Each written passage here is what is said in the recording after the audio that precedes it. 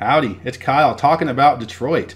In this video, I'll be going over various aspects of the geography of the city. I'll be talking about various neighborhoods. I'll be going over gentrification that's been happening in the city recently. I'll be talking about some of the urban structure of the city and just the overall layout of the city. I'll be talking about the suburbs, its border with Canada, and just overall what makes a city tick. I've been visiting Detroit at least once or twice a year since 1998, and it's one of the cities in the US that I'm the most familiar with, so this video is kind of like an outsider's view of a city that I know a lot about. The population of Detroit is just under 670,000 people and it continues to decline. Wayne County, in which it's located, is the most populous county in Michigan, and there are just over 1.7 million people in that. The suburban county to the northwest is called Oakland County. It has about 1,260,000 people. And the suburban county to the northeast is called Macomb County with about 877,000 people. So most of the population growth in suburban Detroit has been to the northwest and northeast. There has been some growth to the west, but to the south has been less growth. Monroe County, the county just south of Wayne County, has only 150,000 people. The overall metro area has about 4.6 million people, and it ranks it between about 12th and 15th, depending on how you define the metro areas. The Central Business District, or CBD, is the part of town with the high rises, sits right along the Detroit River, which is the international border with Canada. And so just across the river is the city of Windsor, Ontario. There are a lot of people that commute back and forth between Detroit and Windsor. There's a tunnel that goes underneath the river, and there's also a bridge that goes over it. For the longest time, the only bridge to cross the river was a privately owned bridge by this one guy, but finally they're building a new bridge so you can actually cross into Canada without using a private bridge.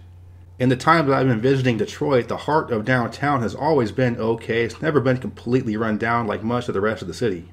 This part of town is where you have the Tigers baseball stadium, the Lions football stadium, and the relatively new arena, which is home to the Red Wings hockey team and the Pistons basketball team. So all four major sports are right in the heart of downtown. The new arena has really helped out downtown because before that, the main arena was way out in the suburbs in Auburn Hills. So all the basketball games, all of the biggest concerts were going on way out in the suburbs. And almost every night of the year, there's an event downtown that brings in at least 10,000 people or so. So there's always a good amount of activity going on in the heart of downtown. And as a result, a lot more restaurant and shop owners are willing to locate downtown, being that there will be a large crowd down there almost every night. Before the new arena, there were quite a few nights where there really wasn't much going on downtown. The main entertainment and nightlife district downtown is called Greek Town, and this is an old Greek immigrant neighborhood with a lot of great restaurants and shops and bars. However, admittedly, for a city the size of Detroit, it's kind of an underwhelming entertainment district. It feels like the kind of district you might have in a much smaller city. But there's a lot of great food in the area. If you're into Greek restaurants, there are several good ones. There's a really good place for Detroit style deep dish pizza and a world famous bakery that deserves all the praise it gets. We always stop there to get cookies or some kind of sweet when we're walking by there. As you head east or northeast from downtown along the river, you get to the Jefferson Avenue corridor. This area has always been okay. There's been some apartments and high rise condos there, and it was kind of like the heart of downtown. It's never been completely run down. And so this area along the riverfront fades into the Grosse Pointes, which is a series of separate cities or suburbs that are all very affluent. And I think that's part of why the city of Detroit has struggled so much. Most other cities have the old money, the old mansion part of town as part of the city, so that property tax revenue was going into the city. In Detroit, all the big mansions and old money are outside of the city limits. To the southwest of downtown is an area called Corktown, and this is the oldest neighborhood in the city. And this area was pretty run down for the longest time, but about 20 years ago, this started to be the first area of gentrification in the city.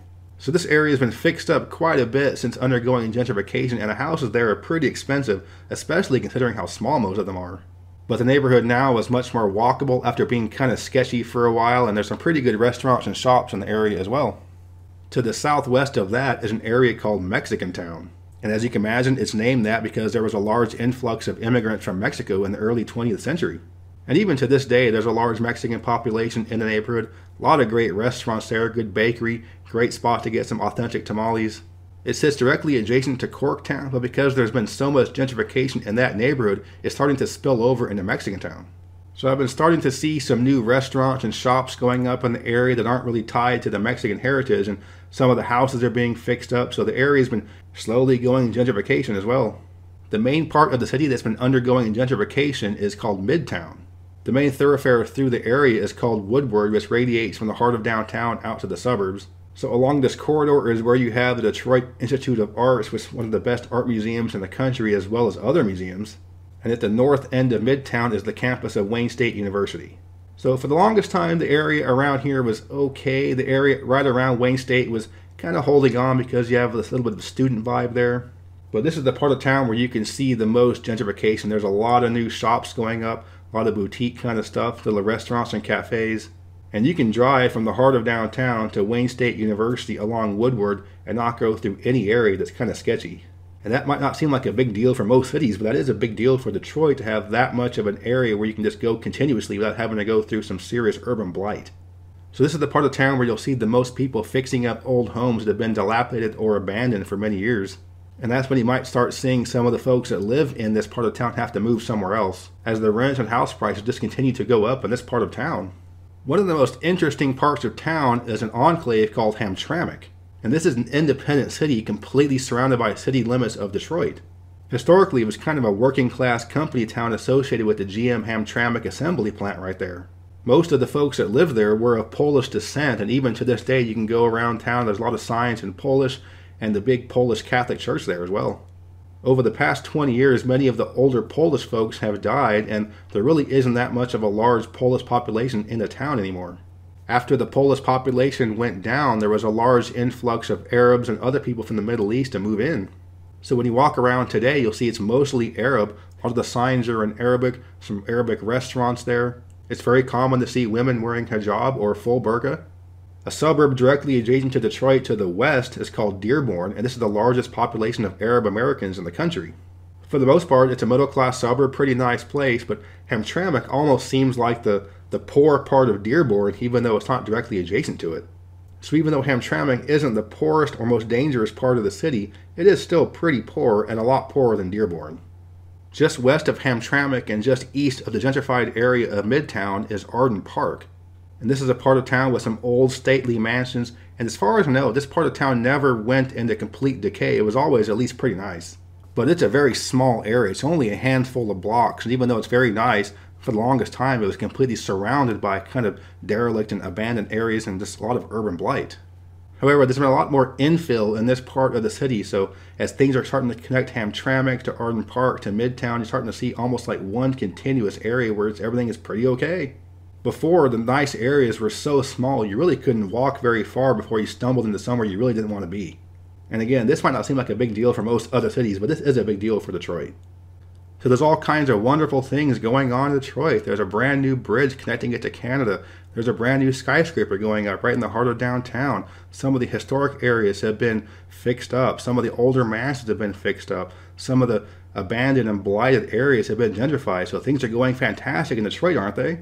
Well, it's improved, but it is still Detroit. And so, even though there has been a lot of improvements in many parts of the town, much of the town is still very blighted. Once you get west of Midtown, it starts to get really rough, and you're going to see some serious urban blight. And the urban blight in Detroit is some of the worst urban blight you're going to see in the entire country. If you want to see just how bad it can get in Detroit, the south end of town is called Delray. And this is just mostly empty. It's almost like an urban ghost town. It's kind of separate from most of the rest of the city, so it's almost been forgotten. And in terms of what might be the worst part of town where people actually live, would be the area between Seven Mile Road and Eight Mile Road in the eastern half of the city. And this is where you'll see some of the largest amounts of urban poverty in the US. This part of town is really poor, has very high crime, and it's just really depressing to see the state of many of the homes in the area.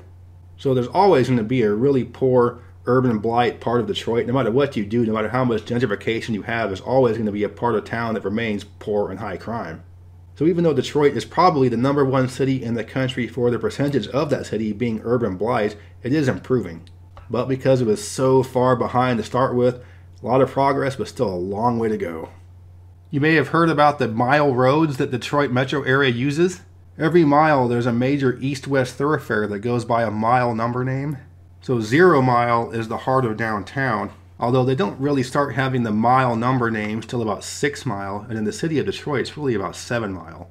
The most well known one is 8 Mile Road, and this is the one that separates the city of Detroit from the suburbs. 8 Mile Road is well known for being a street with a bunch of sleazy bars and strip joints and all kinds of liquor stores and just stuff like that that's right along the border of city of Detroit because that suburban city right next to it might not have allowed that stuff.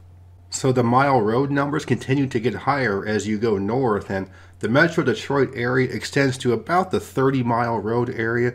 Once you get past that, it's mostly rural areas and farms. And most people in the northern suburbs will describe where they're from by saying the mile road and the cross street. So, for example, you might live near 16 in Groesbeck. And we have friends out near 19 in Garfield.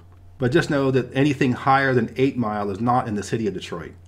So those were the main aspects of the geography of Detroit that I wanted to talk about, but now I want to talk about some of the food and other cultural aspects. So as I had mentioned, a lot of great ethnic cuisine with Arab and other Middle Eastern areas and Greek food as well. But a couple of iconic Detroit foods are deep dish pizza and Coney's. To me, Detroit deep dish pizza is my favorite style of pizza. It's that perfect Goldilocks between the ultra thin New York style and the really thick Chicago style that's more like a lasagna. I like the square pizza that gives like a really crunchy crust. Another Detroit staple are Coney dogs, and you'll see these places popped up all over town. Through all my times visiting there, I've eaten probably all the major Coney places, but I had them all kind of back to back to back this time. And my favorite after eating it a bunch is called Apollo Coney's in the northwestern suburb of Sterling Heights. Kind of an interesting tidbit is that hot dogs in Detroit are often called Coney's, like Coney Island, New York, and hot dogs in upstate New York are often called Michigans. Something else I've noticed has to do with food and restaurants up there is that the people in restaurants are brutal to wait staff if they drop something. So if a waiter or waitress drops a cup or a plate, a lot of times people in the restaurant will yell, Ah, you suck, job opening. They can be pretty brutal to the person. It's also kind of funny too. And I haven't really noticed that happening really anywhere else except for Detroit area.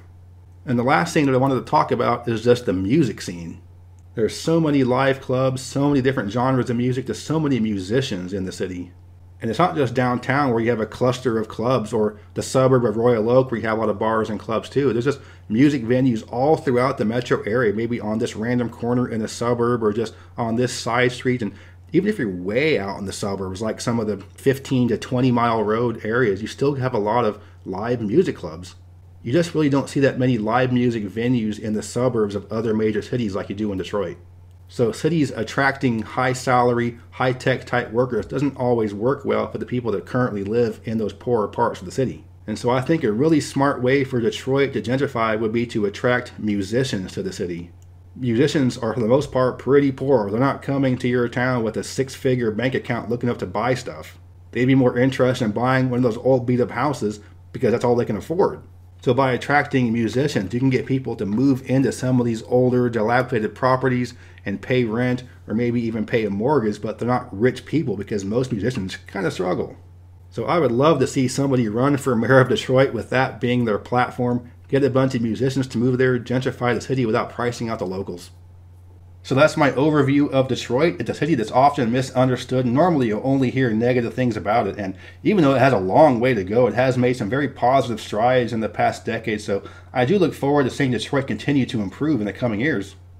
I hope you enjoyed this video. If you did, please give me a thumbs up to let me know you approve and subscribe to this channel if you're interested in learning more about U.S. geography. I'm talking about cities and counties and states and ranking them and comparing them in all kinds of different categories talking about cross-country road tripping and other kind of travel stuff. And everything I talk about comes from a little more nerdy type perspective. But yeah, thanks for watching. Geography King, signing out.